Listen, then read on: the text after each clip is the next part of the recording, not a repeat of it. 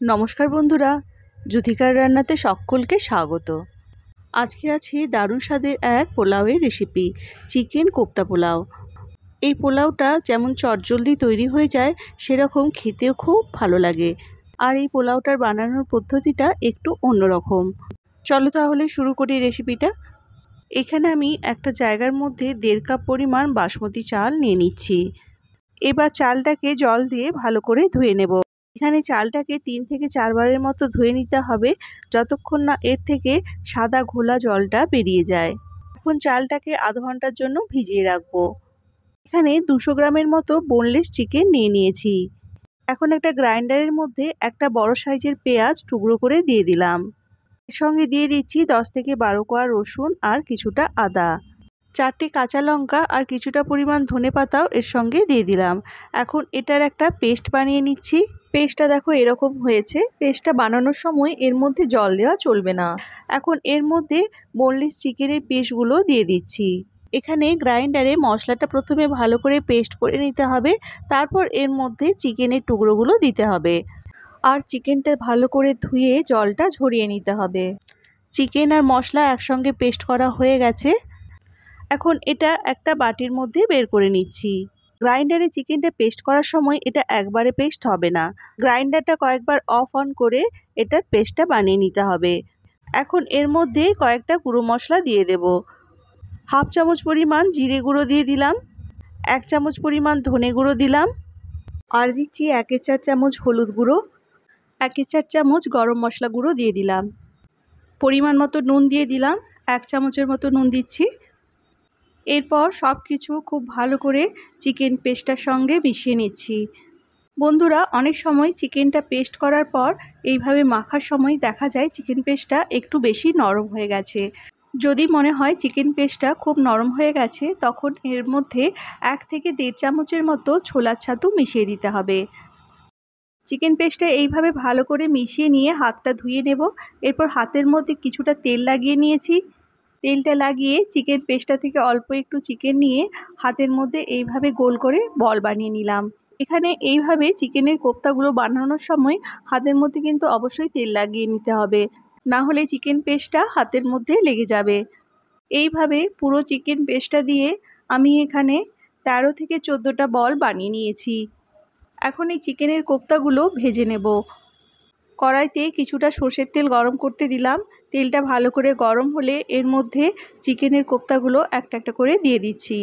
এই সময় গ্যাসের ফ্লেমটা মাঝারি করে রেখেছি। চিকেনের কোপ্তাগুলোর একটা সাইড ভাজা হয়ে গেছে। এখন সব কোপ্তাগুলো উল্টে দিচ্ছি। কোপ্তাগুলোর খুব সুন্দর রং এসে গেছে। এখন উল্টো দিকটাও দুই থেকে তিন মিনিটের মতো মাঝারি আছে ভেজে নেব। কোপ্তাগুলো ভাজার সময় কিন্তু আঁচটা মাঝারি রাখতে হবে, তাহলে এটার রঙটা ভালো আসবে। বন্ধুরা, আমার চ্যানেলের রেসিপিগুলো যদি ভালো লাগে, তাহলে প্লিজ চ্যানেলটা সাবস্ক্রাইব করে নিও আর নোটিফিকেশানের আল বাটনটা অন করে দিও। কোপ্তাগুলো দেখো, দুটো সাইডই ভালো করে ভেজে নিয়েছি। এখন এগুলোকে কড়াই থেকে তুলে নিচ্ছি। এখানে সব কোপ্তাগুলো কড়াই থেকে উঠিয়ে নিয়েছি। এখন কড়াইয়ে বাকি তেলের মধ্যে একটা বড় সাইজের পেঁয়াজ পাতলা করে কেটে দিয়ে দিলাম। পেঁয়াজটা এখানে একটু লালচে করে ভেজে নিতে হবে। এখন পেঁয়াজটা প্রায় তিন থেকে চার মিনিট মাঝারি আছে, একটু উল্টে পাল্টে ভেজে নেব, যতক্ষণ না পেঁয়াজটা এইভাবে একটু লালচে হয়ে যায়। এই পেঁয়াজটা থেকে কিছুটা পরিমাণ ভাজা পেঁয়াজ আমি প্লেটের মধ্যে উঠিয়ে রেখে দিচ্ছি। বাকি পেঁয়াজটা কড়াইয়ের এক সাইডে একটু সরিয়ে দিয়ে এক চামচ ঘি দিয়ে দিলাম কড়াইয়ের মধ্যে। ঘিটার মধ্যে দুটো এলাচ, দুটো লবঙ্গ, এক টুকরো দারচিনি দিলাম, একটা তেজপাতা দিলাম, এক চামচ গোটা জিরে দিয়ে দিলাম ফোড়নটা থেকে গন্ধ বেরোলে এর মধ্যে দিয়ে দিতে হবে হাফ চামচ গ্রেট করা রসুন আর হাফ চামচ গ্রেট করা আদা।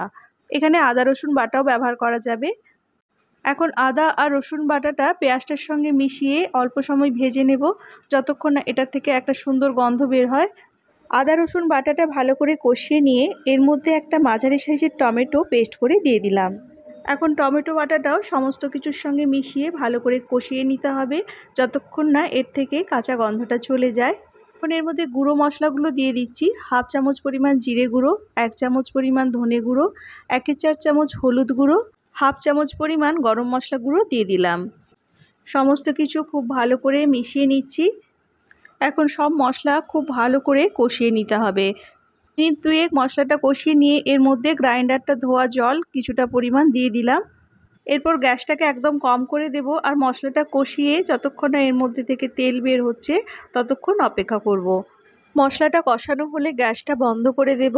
তারপর এর মধ্যে এক চামচ টক দই ফেটিয়ে দিয়ে দিচ্ছি। দইটা দেওয়ার সময় গ্যাসটা আমি সবসময় বন্ধ করেই দিই, না হলে দইটা অনেক সময় ছানা কেটে যায়। এখন দইটা মশলাটার সঙ্গে ভালো করে মিশিয়ে নিচ্ছি। এই সময় খুন্তিতে করে অনবরত নাড়তে হবে মশলাটা। দইটা মশলাটার সঙ্গে ভালো করে মিশে গেলে গ্যাসটাকে আবার অন করে দিয়েছি। রান্নার মধ্যে যখনই দই ব্যবহার করা হয়, তখনই কিন্তু গ্যাসের ফ্লেমটা একদম কম করে দিতে হয় না হলে গ্যাসটাকে একদম বন্ধ করে দিতে হয়। এখন মশলাটার মধ্যে দইয়ের বাটি ধোয়া জল হাফ কাপের মতো দিয়ে দিলাম। জলটা দেওয়ার পর আঁচটা একদম কম করে মশলাটা দুই থেকে তিন মিনিট কষিয়ে নিলে তেলটা এরকম বেরিয়ে আসবে। এখন এর মধ্যে ভিজিয়ে রাখা চালটা ভালো করে জল ঝরিয়ে দিয়ে দিলাম। চালটা কড়াইতে দেওয়ার আগে ভালো করে কিন্তু এর জলটা ঝরিয়ে নিতে হবে। এখন চালটা মশলাটার সঙ্গে ওপর নিচ করে ভালো করে মিশিয়ে এটাকে ভেজে নিতে হবে। এই সময় আঁচটা বাড়িয়ে দিয়েছি। হাই ফ্লেমে চালটা এখন তিন থেকে চার মিনিট খুব ভালো করে ভেজে নিতে হবে। কিছুক্ষণ ভাজার পর চালের রঙটা পাল্টে যাবে আর কয়েকটা চাল দেখবে কড়াইয়ের মধ্যে লাফাতে থাকবে। এখন বুঝতে হবে চালটা ভালো করে ভাজা হয়ে গেছে। এইভাবে চালটা ভালো করে ভেজে নিলে পোলাওটা খুব ঝরঝরে হয়। চালটা দেখো এখানে ভাজা হয়ে গেছে। এই সময় এর মধ্যে দিয়ে দিতে হবে গরম জল। জলটা এখানে চাল যেই পরিমাণ নিয়েছি তার ডবল পরিমাণ দিতে হবে। জলটা দেওয়ার পর এর মধ্যে পরিমাণ মতো নুন দিয়ে দিলাম। নুনটা ভালো করে মিশিয়ে দিচ্ছি। এরপর এর মধ্যে চারটে কাঁচা লঙ্কা দিয়ে দিলাম। এখন কড়াইটা ঢাকা দিয়ে চালটা অর্ধেকটা সেদ্ধ হওয়া পর্যন্ত অপেক্ষা করব। পাঁচ ছ মিনিট পর কড়াইয়ের ঢাকাটা খুলে নিলাম। চালটা এখানে কিছুটা সেদ্ধ হয়ে গেছে। এখন এর মধ্যে ভেজে নেওয়া কোপ্তাগুলো দিয়ে দিচ্ছি। কোপ্তাগুলো একেবারে প্রথমের দিকে দিলে এটা শক্ত হয়ে যেতে পারে। তাই চালটা অর্ধেকটা সেদ্ধ হলে সেই সময় কোপ্তাগুলো এইভাবে দিয়ে দিতে হবে। কোপ্তাগুলো কড়াইয়ে দেওয়ার পর খুন্তিতে করে কোপ্তাগুলো এইভাবে একটু চালের মধ্যে চেপে দিচ্ছি, যাতে কোপ্তাগুলোর মধ্যে ঝোলটা ভালো করে ঢুকে যায়। যে ভেজে নেওয়া পেঁয়াজটা রেখে দিয়েছিলাম, সেটা এখন এর উপরে ছড়িয়ে দিলাম। এবার কড়াইটা ঢাকা দিয়ে আঁচটা কম করে দিয়ে আরও পাঁচ থেকে ছ মিনিট রান্না করে নিলাম। পাঁচ, ছ মিনিট রান্না করার পর এটা ঢাকা দিয়ে আরও পনেরো মিনিট রেখে দিয়েছিলাম। পোলাওটা এখন কিছুটা ঠান্ডা হয়ে গেছে। পোলাওটা কিছুটা ঠান্ডা হয়ে যাওয়ার পর তারপরেই এর ঢাকাটা খুলতে হবে। তাহলে পোলাওটা ঝরঝরে হবে। আমি এখানে পোলাওটা সাইড থেকে কিছুটা উঠিয়ে দেখিয়ে দিচ্ছি। দেখো এটা কতটা ঝরঝরে হয়েছে। এই চিকেনের কোপ্তা পোলাওটা খেতে ভীষণ সুস্বাদু হয়। একবার বাড়িতে বানালে সকলে কিন্তু বারবার বানাতে বলবে। যে কোনো উৎসবের মরশুমে বা বাড়িতে কোনো অতিথি আসলে এই চিকেন পোলাওটা বানিয়ে দেখতে পারো। আশা করি সকলের ভালো লাগবে। রেসিপিটি ভালো লাগলে ভিডিওটায় প্লিজ একটা লাইক করে দিও। চলে আসব আবার একটা নতুন ভিডিও নিয়ে। আজ তাহলে আসি। টাটা!